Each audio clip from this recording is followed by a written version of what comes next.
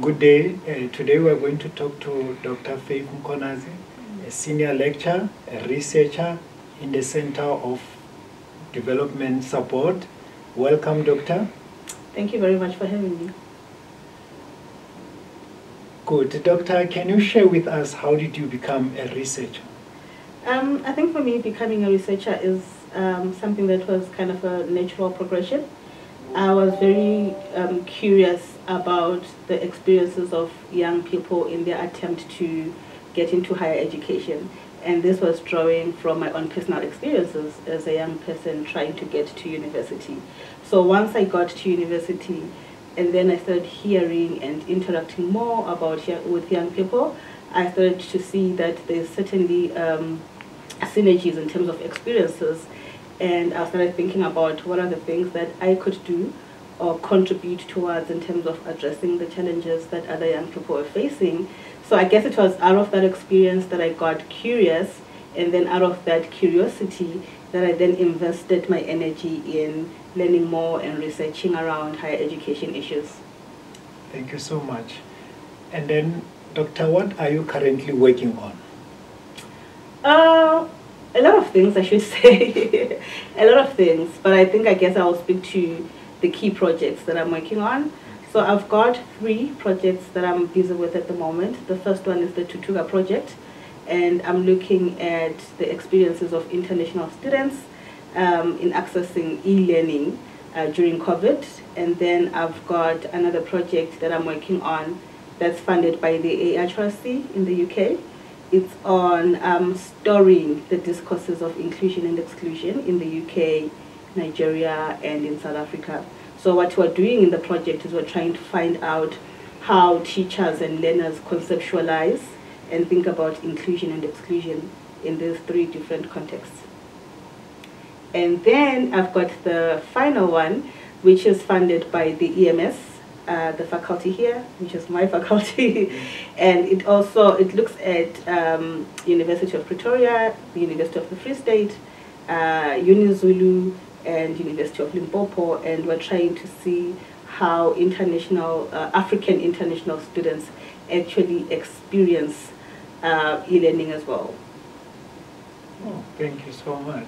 Mm. And then, Doctor, coming to e-learning, mm -hmm. I think we were more talking of technology. Right. So what role is technology playing in this field of uh, support Mm. I think, um, in as much as uh, I, I, for one, still like the traditional ways of communicating and learning because I think there is there are personal relationships and engagement that are formed in the process. But I think, without a doubt, we can't shy away from the fact that e-learning and technology as a whole is taking over the way we know things to be, the way we know education to be, the way we know learning to be and I certainly see that in the next um, five to ten years, most of us or most of our students will certainly be uh, learning through the, the technology stuff, right? And that's also, I guess, an area of interest of mine in terms of thinking about internationalization of higher education, right? So we think about international students.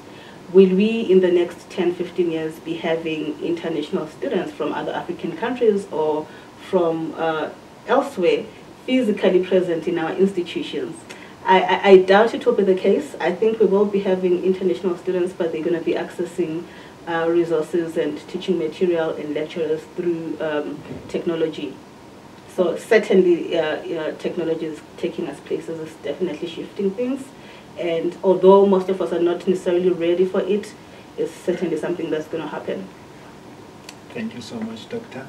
And then are there any exciting gaps within your field of study?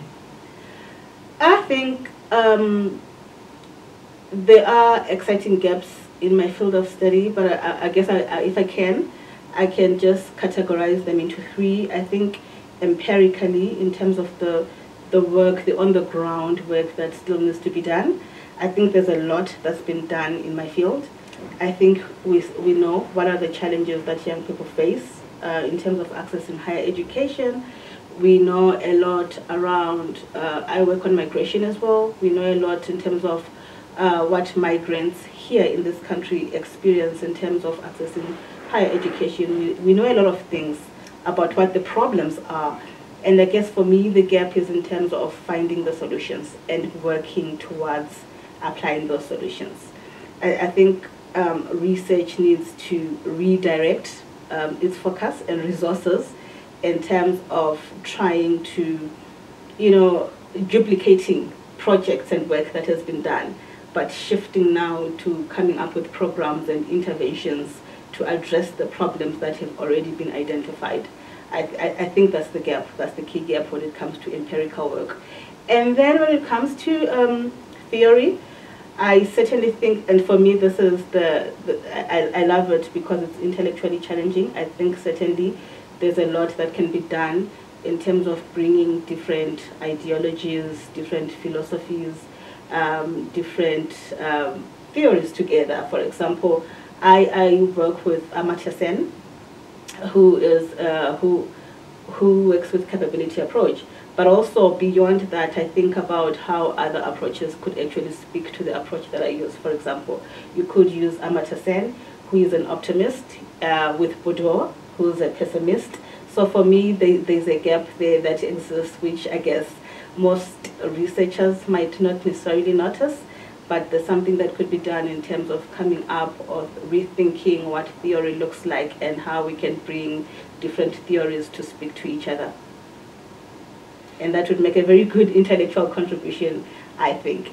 And I think the third one, I said three, right? I think the third one is the uh, the gap in terms of methodologies that we use. I, when I started um, maybe 10 years ago, I was not exposed to participatory methods, so I was kind of doing my work using traditional interviews. But of late, um, I've, I've really had an interest on using participatory methods, especially working with young people. I think there's a lot that we could learn from, the, from those methods. I think uh, they help young people to be critical thinkers. They also create a space for dialogue with the people that you're working with. And also I think they help young people become agents of change because now you create a space for them to act on what they believe matters to them. And um, I think there's, there's something that can be done there in relation to the work that we do as researchers. That's good. Mm -hmm. And then coming back to your work, mm -hmm is there any specific theory or perspective mm-hmm. that influence your writing? Certainly, yeah. I am um, a capability approach proponent, um, particularly because I think uh, it resonates with the daily life that, that we live. If you think of the life you waking up in the morning, coming here, you know, the process of just being here, uh, the CA speaks to that, right? So it speaks about the freedoms that people have as individuals or as groups to live the lives that they have reason to value. So I really like that uh, approach because it's very practical.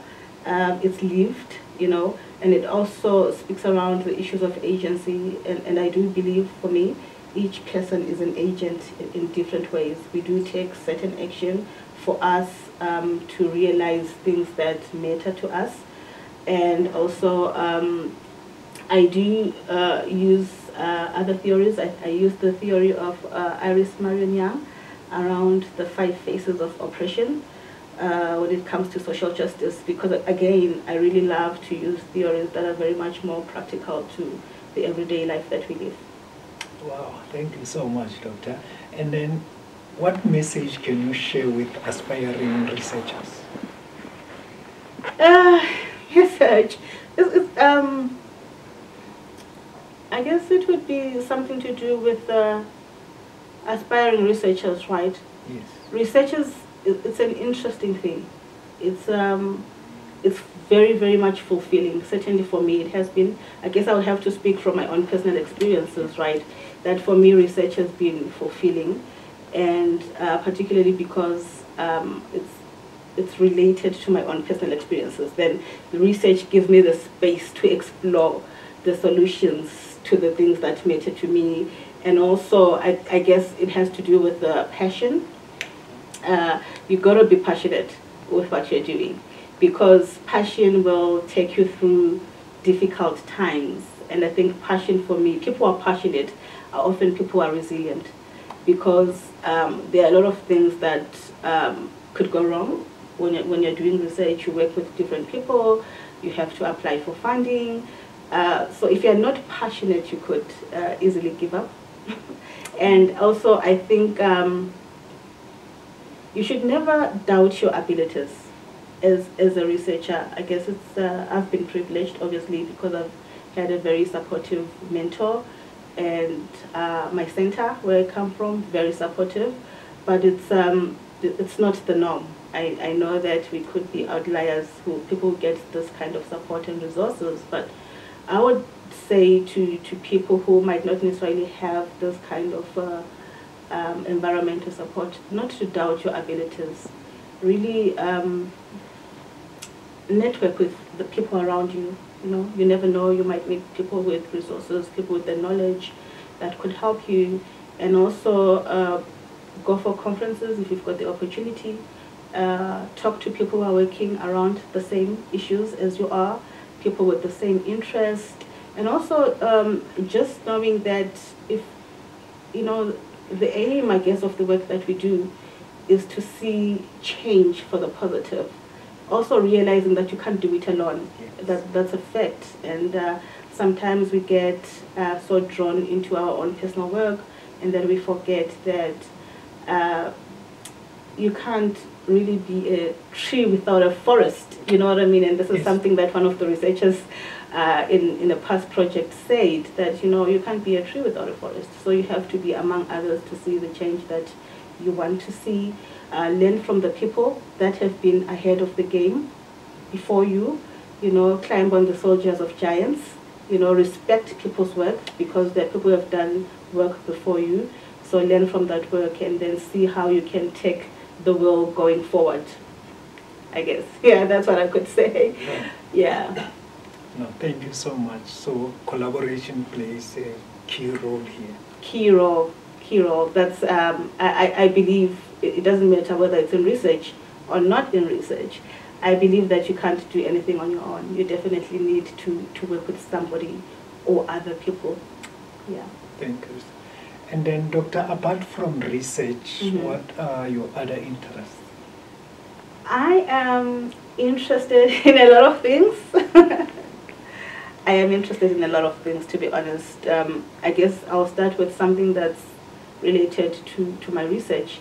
I am interested in the development of African early careers, um, career researchers. Uh, for example, again, most of the stuff that I research on um, is very personal to me sometimes. So um, in 20, I think in 2017 or 2018, I met colleagues at an international conference, uh, young black women, and I think it was the three of us, the whole conference, you know, and so we're curious, what is the problem? What is the issue? Why is it only the three of us here? Where are our peers? Where are others? So from that experience, um, I, I think for me that was the where the fire ignited in terms of this passion. Um, so we left that conference thinking uh, it's possible that people are not exposed to the kind of environments that we're exposed to. It's possible that others don't have resources to the like the same way we have resources.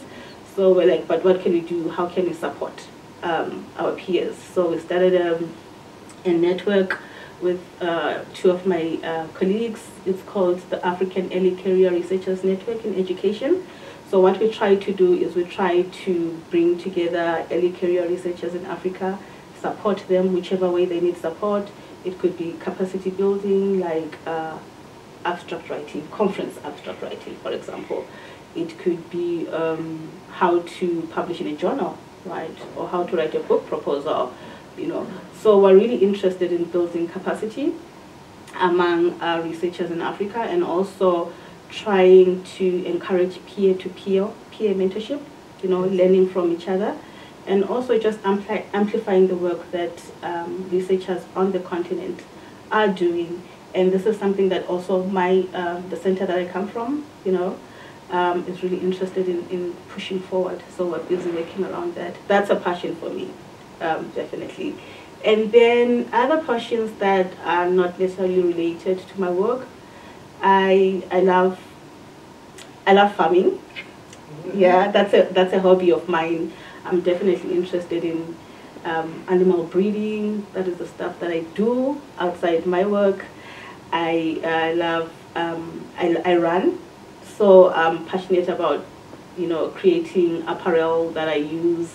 And again, this this hobby started when in high school I used to enjoy fashion designing, okay. but unfortunately I didn't pass.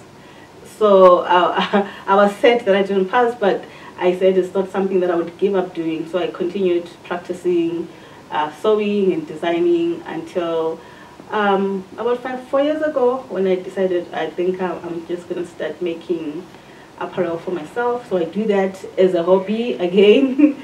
but it's um, it's stuff that's interesting. I guess for me, I really love being creative in creative spaces. If I see a problem, automatically I think about what could I do? What's the solution? You know. So I love being creative and innovative in the little ways that I can. yeah. Wow. That's so inspiring. Thank you so much, Doctor. And then we've learned that you are not only an academic, but you are also lending a hand out there. Mm -hmm. That is inspiring. Thank you. Yes. And Doctor, lastly, one thing that we are ignoring mm -hmm. is mental health. Mm -hmm. So how can we tap in and mm -hmm. make people aware that mental health is crucial to our lives? I think um, I think for me um, it has to start from like the grassroots. It's, it's, not something that necessarily yes in the university space. It's great that we've got um, people are actually raising the banner, raising the awareness of mental health issues.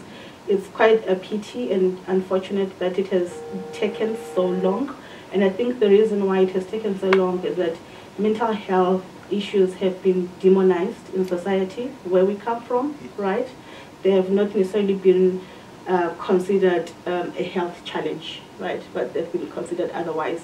I think uh, for me it would be great if um, those, those awareness campaigns could go to communities where our grandparents live, where uh, other people are not exposed to this environment that we're exposed to, right? Could actually learn more about mental health issues. I think it's something that could be raised even in primary schools, secondary schools, so that people start really acknowledging that there is a challenge when it comes to mental health and it's something that people can get help for, right? Um, yeah. I think universities, certainly universities, cannot do it alone in terms of addressing the issues that arise in relation to mental health. I think it has to be um, in collaboration with even outside forces. Mm -hmm. oh, thank you so much, Doctor, for sharing with us. We really value your time of having you on our midst. Thank you so much. It's been amazing. thank you.